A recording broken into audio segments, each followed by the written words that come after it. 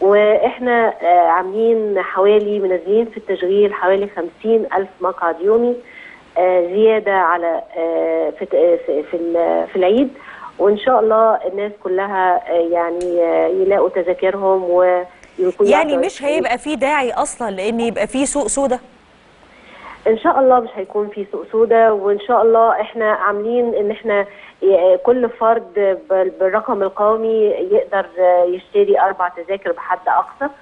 و- ونتمنى طبعا التعاون مع الجمهور إن هو لو لقى حد سوق سودا يا ريت يبلغ عنه.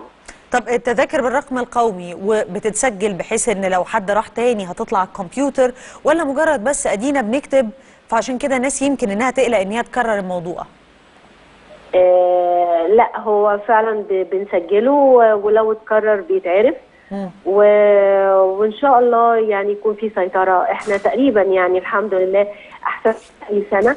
و... ونتمنى برضو إن إحنا يعني ننهي عليها تماما. بإذن الله إن شاء الله. أستاذة نجوى الباري متحدثة باسم هيئة السكه الحديد شكرا ليكي.